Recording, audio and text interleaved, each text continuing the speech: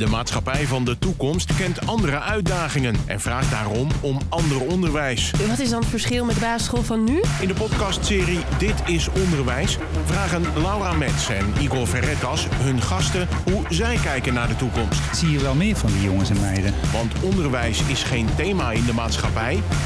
Onderwijs is de maatschappij.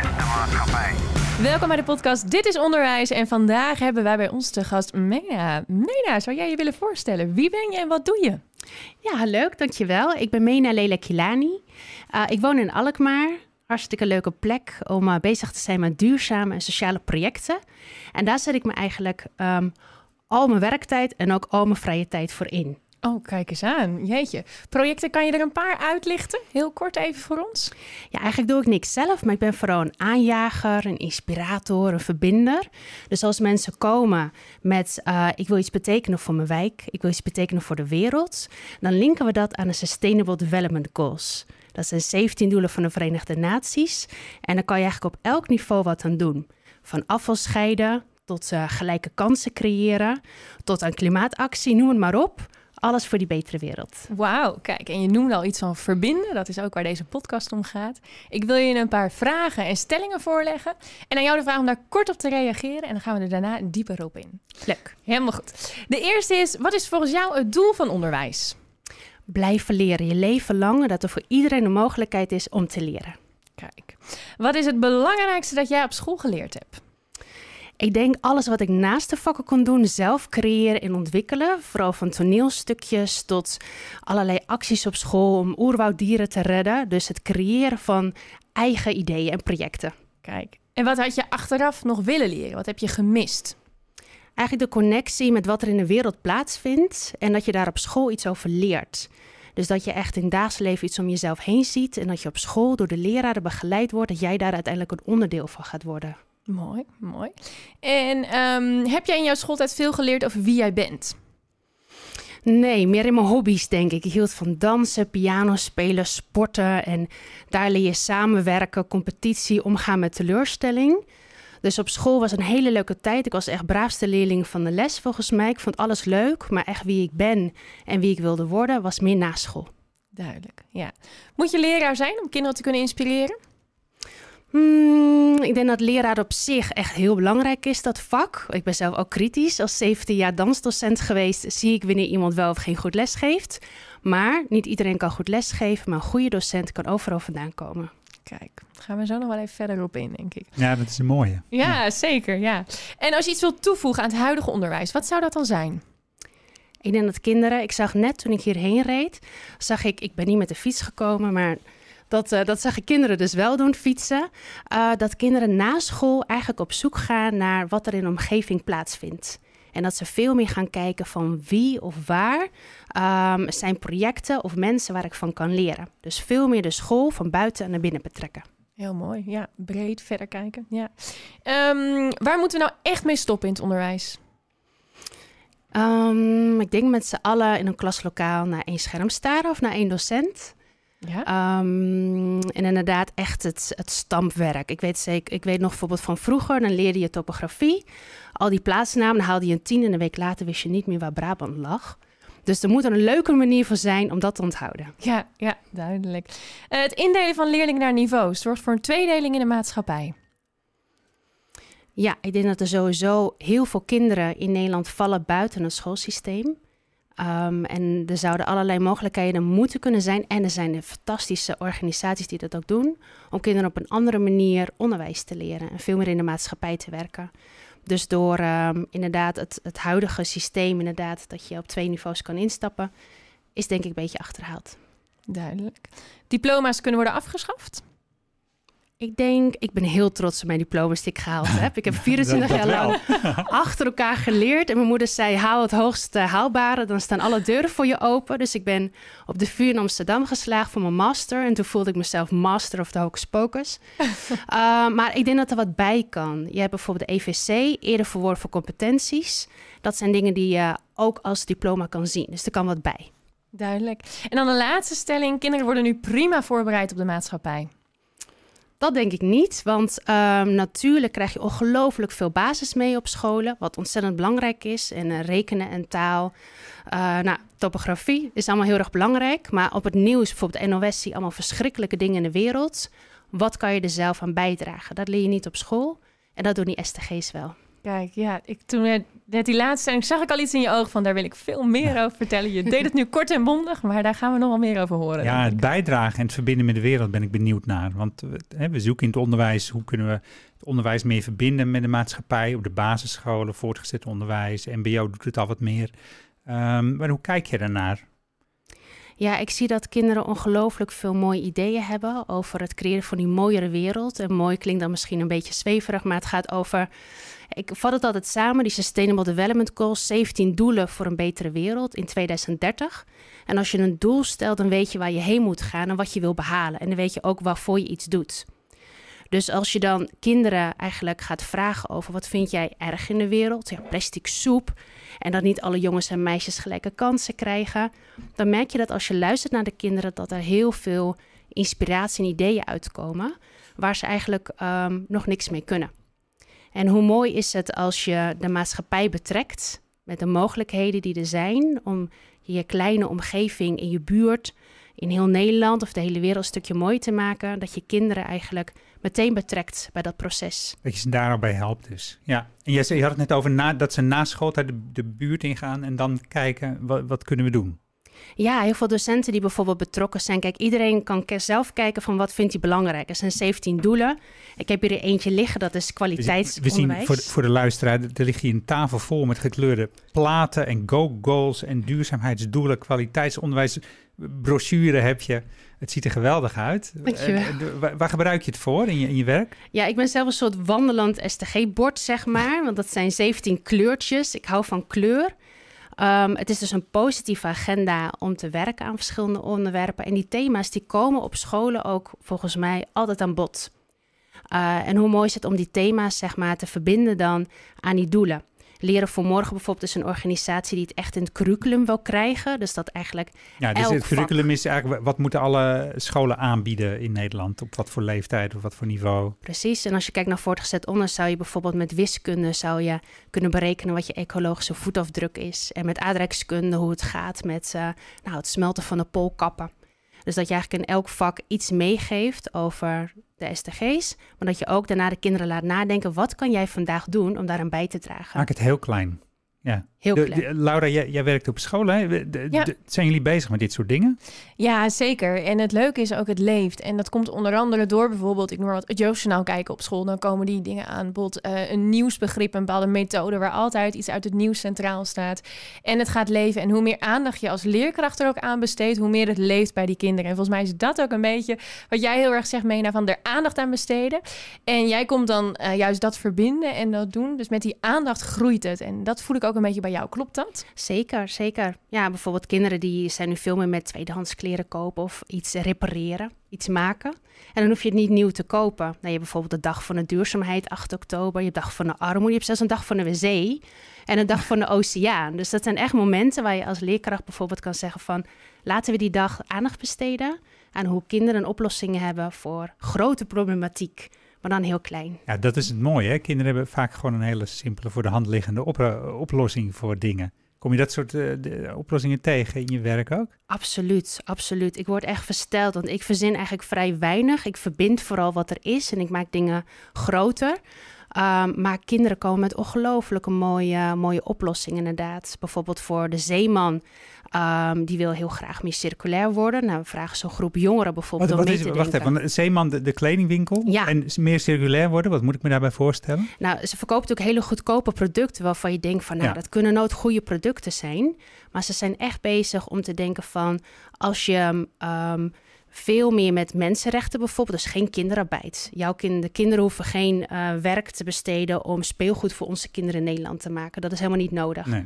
En als je circulair denkt, dan komen dingen terug. Dus ongebruikte spullen kan je terugbrengen, kunnen gerepareerd ja, worden. Zo, en dan ja. kunnen weer nieuwe dingen van gemaakt worden. En dat vinden kinderen echt ontzettend leuk om te doen. En die dachten mee aan oplossingen voor de zeeman, begreep ik absoluut, dat? Absoluut, ja. Jeetje. Dat is hartstikke leuk. Kan je zo'n oplossing noemen? Nou, dat ze bijvoorbeeld spullen die stuk zijn, dat je dat weer terugbrengt naar de winkel. Ja, dat zou ik bij elke winkel wel willen. Want sommige ja, winkels die verkopen eenmaal spullen die heel snel stuk gaan. En dat de winkel zelf daar weer nieuwe materialen van maakt. En van plastic kan je zelfs kleding maken. Ehm, en inderdaad, van, van stukken producten kan je ook weer die nieuwe dingen maken. Dus het is heel creatief. En kinderen houden van kunstwerken. Dus je kan ook kunstwerken maken van doppen, van melkflessen of zo. En dus kinderen die bedenken die oplossingen, daar komen ze dan eh, bij jou mee, of jij bent er dan. En dan, wat gebeurt er dan? Ja, dan kijken we zeg maar um, welke partijen daarmee bezig zijn en welke partijen daarvoor openstaan. En worden de kinderen daar ook nog steeds in meegenomen? Dat verschilt een beetje. We hebben bijvoorbeeld nu vorig jaar een challenge gedaan met welk kind uh, wil een heel mooi kunstwerk maken om in zijn klas te vertellen over een bepaald thema. Nou, was uh, Kai, die heeft Doppie gemaakt, een schildpad van allemaal oud plastic. En nu is er een museum in Den Haag, Museum. Die heeft een expositie One Planet en daar komt dat kunstwerk nu te staan. Daar komt Doppie weer tevoorschijn. Daar komt Doppie weer tevoorschijn. Dus het is ook, ook voor zo'n Kai heette die? Of, ja, Kai, ook, ja. ook geweldig dat dat weer ergens komt. Uh, ja, absoluut. En, en aandacht dat hij, krijgt. Dat hij mag vertellen over hoe hij het erg vindt dat de wereld, zeg maar, de zee vol met plastic zit. Ja, en, en het onderwijs zelf, hè? Um, jij zegt, waarmee moeten we stoppen? Naar één scherm of één docent staren? Of, hoe kom je nou jouw droomschool binnen? Wat gebeurt er dan? Of is het nog een school? Of... Ja, ja, visualiseren hou ik heel erg van. Maar natuurlijk, uh, wat, is, wat is realistisch? Maar ik zie het voor me dat... Um, ik kan me voorstellen als er een politieagent, een vrouwelijke politieagent op school komt... en die vertelt over haar vak. Hoeveel meisjes zouden zich gaan aanmelden als politieagent? Meer dan als het een man zou zijn, bijvoorbeeld. Precies. Zie je diezelfde politieagent dan ook terug in de schoolboeken? Of is het alleen maar een witte man met een snor, bijvoorbeeld? Dus ik denk dat je het helemaal door kan voeren, dat je kinderen zeg maar de maatschappij kan laten zien. Dus dat verschillende mensen lessen kunnen geven bijvoorbeeld. En dat de docent de leerlingen mee naar buiten neemt. Waar is een werkplaats? Waar ze bijvoorbeeld van oude materialen huizen bouwen. Of uh, waar gaan ze suppen? Bijvoorbeeld ook maar is een supper. Die gaat Ja. met zo'n surfplank Tja. de grachten door, plastic uit het water halen. Dus dat soort activiteiten zorgen ervoor dat je daarna in de school volgens mij een week of maandenlang aan een thema kan werken en alle vakken ermee kan verbinden. Ja, en nu, en nu zeggen ouders, ja, dat is hartstikke leuk dat ze dat de hele week doen. Maar uh, ze moeten toch leren uh, taal en rekenen. En ze gaan straks naar het voortgezet onderwijs. Nou, die snappen er helemaal niks. Even een kritische ouder. Ja, natuurlijk moet er aansluiting zijn op alle vakken. Maar bijvoorbeeld in dans, met dans kan je rekenen en taal leren. Hoe leuk is dat dan alleen maar stampen? Want je kan natuurlijk ritmes maken, je kan met je lijf bewegen. Dus er zijn ook creatieve manieren om de, zeg maar, de hardcore vakken, om die te Ja. leren. Ook in het voortgezet onderwijs. Ook in voortgezet onderwijs. Ja, zeker. Ja, zie je, ja, je, ziet, je ziet er glimmen, hè? Ja, Nee, zeker. Ja, ja. Bij, bij mij klopt er ook gelijk een vraag op van... moeten we dan niet kijken naar de kwalificatie van leerkrachten? Als ik jou zo hoor praten, dan, dan past dat bijna niet meer in het rijtje... van wat je leert bij bijvoorbeeld een pabo. Ja, ik heb natuurlijk geen inzicht inderdaad wat, eh, wat de lessen nu zijn. Maar ik weet zeker dat elke docent ehm, heeft de bevoegdheid om een eigen invulling te geven in een klas. En als je van gitaarspelen houdt of je houdt van zingen, zet dat in in een les die over het algemeen misschien wat statischer is. Uh, en als je zelf bijvoorbeeld heel betrokken bent met klimaatactie, of um, je vindt het heel belangrijk dat, uh, um, ja, dat je bijvoorbeeld niet reist als docent, kan me best voorstellen dat docenten ook bepaalde ideeën hebben die ze graag mee willen nemen in de klas. Dus eigenlijk geeft de verantwoordelijkheid terug aan de leerkracht ook een stukje. Zeker. Zijn eigen krachten inzetten en dat hij dat zelf mag bepalen wat er dan ook gedaan wordt in zo'n klas. Ja, en dan graag de leerlingen vragen van wat voor ideeën hebben zij over bepaalde thema's. Ah, dat lijkt iets belangrijks. Je zegt het van, die moet ik echt even zeggen, de leerlingen. Ja. Ja. waarom vind je dat zo belangrijk? Dat de leerlingen zelf iets mogen bepalen. Ja, uiteindelijk worden dat de beleidsmakers en de ondernemers van de toekomst. Dus als die leerlingen zeg maar nu al ideeën hebben, dan is het ook hartstikke mooi om daar ruimte aan te geven. Ik weet nog van mijn Frans leraar, die had cassettebandjes uit de jaren 70. Toen dacht ik, oei, kunnen we niet gewoon op straat met Franse mensen gaan praten of zo? Of ergens naartoe in plaats van naar dat cassettebandje luisteren. Dus er zijn natuurlijk heel veel mogelijkheden inderdaad om naar buiten te gaan. En ik weet dat bibliotheken, uh, theaters, uh, gemeenten, uh, sociale organisaties, dat die openstaan en heel graag willen dat kinderen langskomen. Ja, ja oh, openstaan eh, zeker. En als ik dan even kijk naar hè, basisschool, wat er vaak mist is tijd. Tijd. Dan hebben we dus eigenlijk iemand nodig die dat verbindt. En dat ben jij, bent iemand die dat doet, hè, verbinden tussen die twee. Zou dat dan iets zijn wat eigenlijk nu dan ontbreekt aan het onderwijs om het juist open te breken en te zeggen we gaan naar buiten naar de maatschappij, een verbinder? Ik denk dat dat een hele mooie zou zijn. Je hebt natuurlijk wel bij CKV-vak of zo. Dus bij de kunst heb je een coördinator. Uh, misschien kan ik iets vertellen over het project wat ik nu opzet. En wat zeg maar een opening kan zijn, inderdaad, waar docenten misschien wat aan hebben. Leuk. Want Even een voorbeeld. Ja, ik, heb echt geen, ik ben geen expert op onderwijs, maar ik weet in ieder geval waar mensen enthousiast van worden. En daar haak ik op aan. Nou, in Maastricht was er een organisatie en die heeft de 17 doelenlessen bedacht. Daar hebben ze 3500 kinderen aan les gegeven, groepen wow. 7, 8. Al die kinderen die krijgen dus nu ja, inspiratie mee over wat ze zelf kunnen toevoegen aan die mooiere wereld. Dus die hebben daar filmpjes van gemaakt, een fototentoonstelling. En het wordt nu overal in de stad gehangen. Om iedereen die daar langs loopt ook te inspireren. Toen dacht ik, als we die nou naar tien verschillende locaties kunnen verbinden. Dat doe ik via de organisatie waar ik ook voor werk, STG Nederland.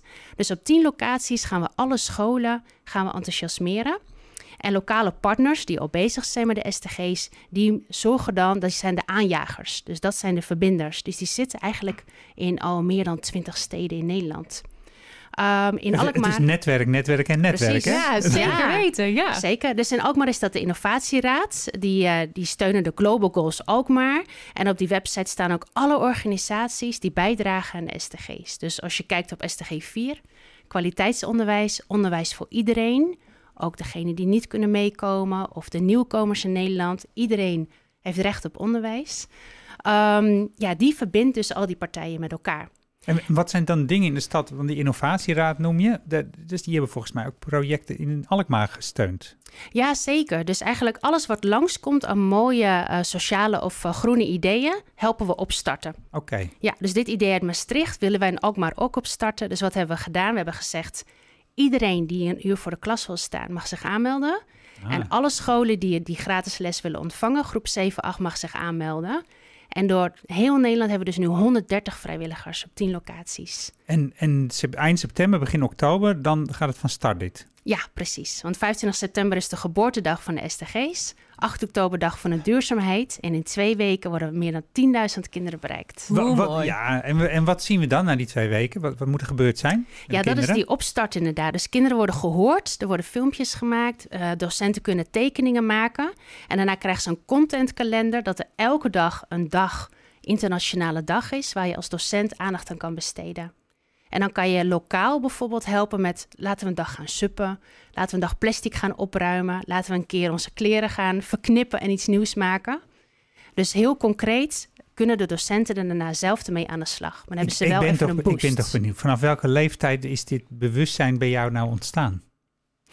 Ja, ik kwam twee jaar geleden in aanraking met de SDG's. Toen dacht ik, dit is alles waar ik voor sta. Vrouwenemancipatie, klimaatactie. Dit is, dit is actueel. Dit is niet, jij, jij was geen kind die, die langs de weg uh, dacht van... nou, nou de, de, plastic mee of wat zonde van die boom Plastic nog wat. niet. Ik zag nog niet zoveel plastic als nu, zeg maar, op straat. maar ik hielp wel, de, zeg maar, de Amazone-diertjes uh, redden toen ik uh, acht was. Daar deed je wel Dat mee. wel. En als er iets inderdaad over vrouwen werd gezegd... dan zei ik altijd, meisjes zijn even sterk als jongens.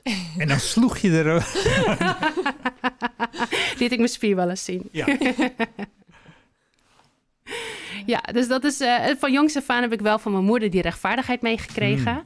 Maar nu heb ik eindelijk iets gevonden waar ik er echt mee aan de slag kan gaan. En je vertelt het ook vol trots. Dat uh, de kijkers of de luisteraars zien dat niet, maar wij kunnen dat zien. Ja, ja dankjewel. Ja. ja, je ziet een trotse vrouw. Ja. Ja, ja, omdat ik het gevoel heb dat ik het niet alleen doe. Er zijn zo ontzettend veel enthousiaste, geïnspireerde mensen die hiermee aan de slag willen gaan en alleen maar een zetje nodig hebben om, uh, om verder te gaan. En stel nou, hè, uh, iemand luistert dit en die zegt, maar dit wil ik ook doen met mijn klas. Ben ik niet te laat? Kan het nog? Zeker. Ja, de vrijwilligers worden nu getraind deze dagen. Dus uh, dat is afgesloten, maar de scholen kunnen nog meedoen. Dus alle groepen 7, 8 in Alkmaar. En misschien doen we ook nog een uitstapje iets verder. Beetje de omgeving. Ja, dus, dus we zorgen dat dit op tijd wordt uitgezonden, dat de actualiteitswaarde groot is. Hoe mooi zou dat zijn? Ja. ja. En, en ik, jij zegt ook dans, dat komt ook drie, vier keer voor in deze podcast. Wat betekent dansen voor je? Uh, dans is wie ik ben. Ik ga dansen door het leven. Dat is echt mijn, uh, mijn, mijn slogan. Ik heb 17 jaar gedanst en lesgegeven op scholen. En ik zie dat dan zoveel verbinding en zoveel plezier brengt. Dat ik daar. Ja, wat doet dat ja. inderdaad met kinderen ook dansen? Heel veel, heel veel. Soms komt er ineens een jongetje of meisje tevoorschijn die, die nooit opviel. En die ineens uh, als ze talenten laat zien op de dansvloer. Dat is geweldig. Uh, verbinding. Um, en wat ik vooral ook heel belangrijk vond, is dat er geen pesten voorkomt in zo'n les. Dus kinderen die zien elkaar van een ander andere oogpunt, zeg maar. Iedereen mag er zijn. Precies, degene met die grote mond, die wordt dan eventjes uh, in het groepscollectief opgenomen. En misschien juist de kinderen die niet zo opvallen, die krijgen dan een plek om hun talent te laten zien. Uh, het geeft zoveel vrolijkheid. En het is heel fijn als een docent altijd meedoet. Dat als een docent ook een beetje maf mee te doen. Ik weet niet hoe dat voor jou is, maar... Ja, dat werkt altijd. Ja, we hebben hier een maffe leerkracht. Ja, ja. dat werkt heel goed. Dus ik heb wel 5000 kinderen lesgegeven, zo'n beetje. Ja, mooi, mooi. En je noemt ook een paar keer noem je verbinden. Wat brengt dat voor jou, dat verbinden? Waarom is dat zo belangrijk? Ja, er is zo'n, het is een beetje um, een bekende quote. Hij is niet van mezelf, dus alleen ga je snel, maar samen kom je verder. Ja. En wat ik merk, ik word dagelijks gebeld in mijn werk, uh, zowel voor de projecten in heel Nederland als in Alkmaar, dat als mensen gehoord worden en er wordt gezegd, je bent goed bezig, wat kan ik doen om je een stap verder te helpen? Dat mensen echt als een, uh, ja, ik wil raket zeggen, maar dat is niet als zo duurzaam, speer, als ja. een speer gaan.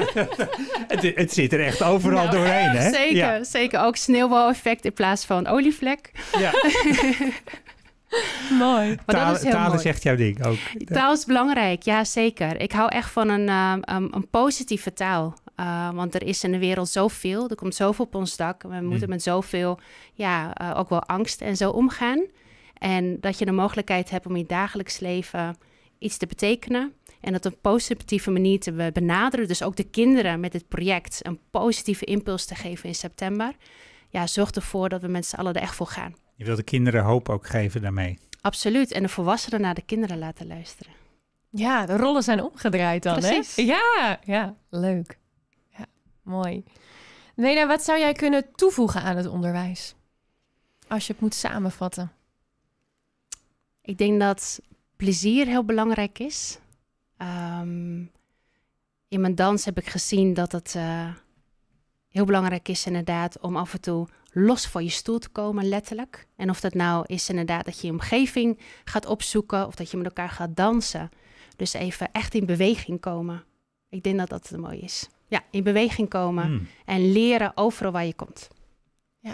Mooi. Mooi samengevat. Ja, Ja, zeker. je ziet ja. het voor je. Ja, absoluut. Ja, zeker weten. Ehm, voor welke vragen zouden leerlingen jou kunnen benaderen? Ja, eigenlijk alle leeftijden, alle kinderen die zeg maar ehm, uh, een berichtje kunnen sturen naar Global Goals Alkmaar, want daar ben ik in Alkmaar ben ik, uh, uh, bereikbaar. Die mogen mij vragen stellen, maar ook hun project delen.